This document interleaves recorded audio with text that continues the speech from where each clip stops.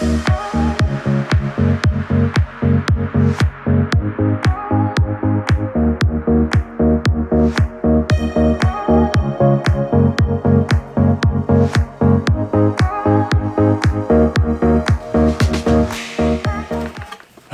how y'all doing? I'm doing a little better than being outside.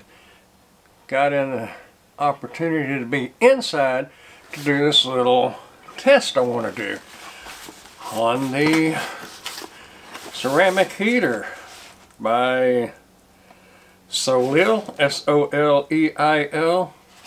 Says it is, is uh, safety features, tip over, safety switch, overheat, safety fuse, cool touch exterior, controls settings, one heat setting, 250 watts, power indicator light.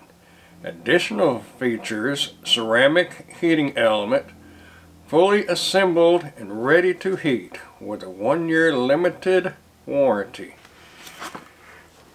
Question is, 12 volt deep cycle Walmart battery, Everstart 400 watt power inverter, and question is, will it heat? Alright, let's jump right into this. I've already opened this, so I don't do unboxing and all that. I'm not that fancy. I whip out the knife and do all that. You get instructions in there, but if you don't know how to plug a plug in and turn the light uh, power switch on, you probably shouldn't be messing with it anyway. Alright, first of all, can y'all see this? 13.33 volts. I have my leads connected directly to the contacts on the inverter. Alright, you can see the 13.33. So let's uh, plug this bad boy in and see what it does. Oh, there's a thermometer out here. Let me swing this around, show y'all. Enjoy the ride.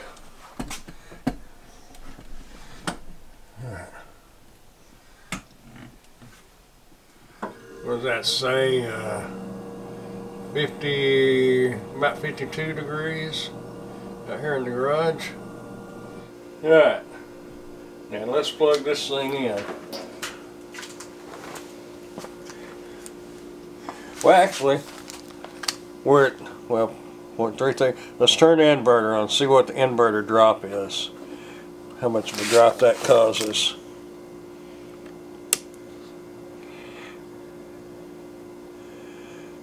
Uh, about 0.2. The inverter showing 13.2 volts. Alright, let me move this over a tad. Hopefully you can still see that.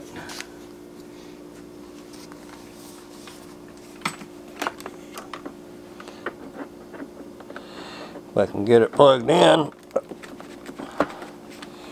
Alright, that's plugged in. Now, let's see what she does. I hope there's nothing technical about setting this up here that's blowing heat on that causing something else. I, I don't know. It shouldn't. Here, we'll turn it up. Kind of face it up. No, I can't because of the follower safety switch. That uh, I don't know if you can see it or not. Right there. Anyway, that's got to be sitting down flat. So that should work right there.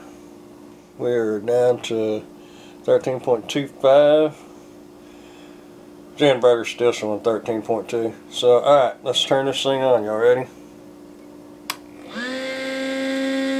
Right away it sends this inverter on the... Actually, I can feel... My hand is right here up against it. Feel it right there. Starting to cool off.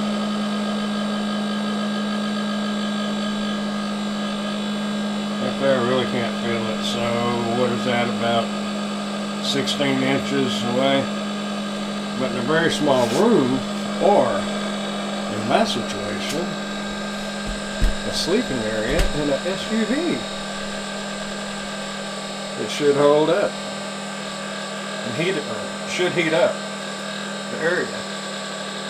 But, let's just let this run for a little bit and see what it does to this battery.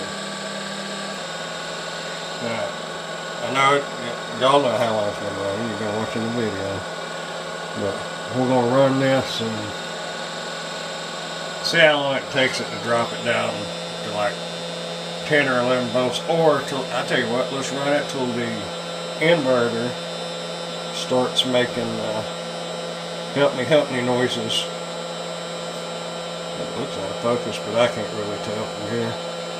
Alright, I'm going to set this over here, and we're going to do a little time lapse now. So, here we go.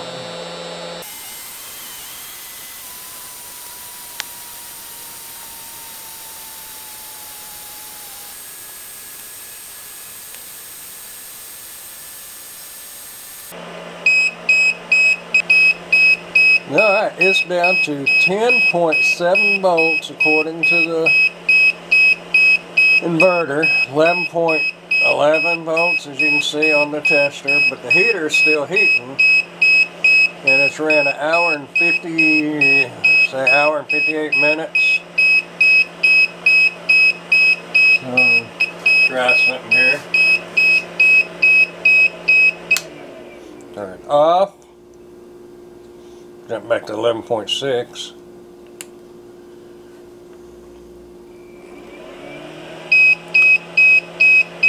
Uh, using 100%, well it just jumped to 75. Still at 75, it had jumped over to 100% on the percentage of the battery it's using.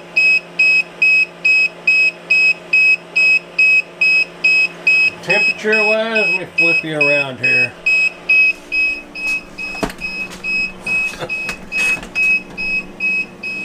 it has came up almost one degree. Of course, this is a long ways from it. I say a long ways, it's uh, five foot. But we're also in a garage.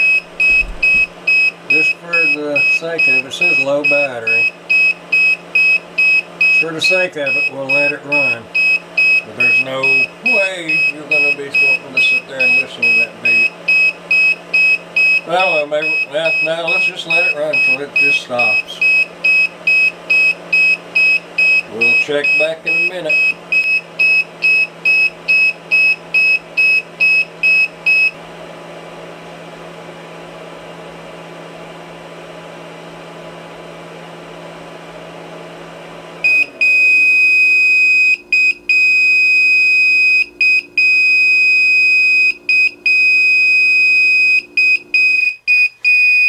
Alright, well, as you know, it's dead. It finally died. So, what's our conclusion? If you have a good full battery and you don't run anything else off of it, then it will work for you. However, if you're like charging your batteries and well, not car batteries, but your camera batteries, your computer, or whatever, it's not going to heat it up because, you know, you can see here. I guess you can see. The temperature has not changed. It's still, well, it came up one degree. And how long? Get this back around here. one degree. And that thing ran over two hours, which I was surprised it ran that long. In an SUV or a car, it would probably work if that's the only thing you use that battery for. That's a lot of space for a little bitty heater. But while I was inside thinking about this, and hmm, actually I was eating, but shh, we won't say that. While I was researching, uh, thought about a heat lamp. So I am going to get a heat lamp, not just a normal regular heat lamp with, you know, the red colored bright light or whatever. This one said that it doesn't produce light. I don't know. I'm going to see if I can find one anyway. Supposedly they have them at Walmart or at least on walmart.com.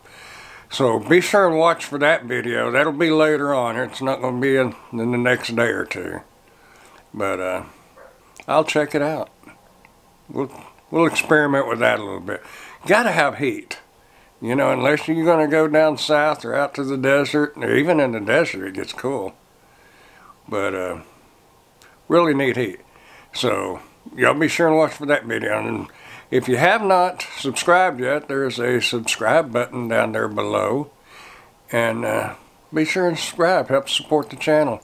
Give us a thumbs up. And uh, all that good stuff share the video. So y'all keep on keeping on. And I'll see y'all on down the road. Bye.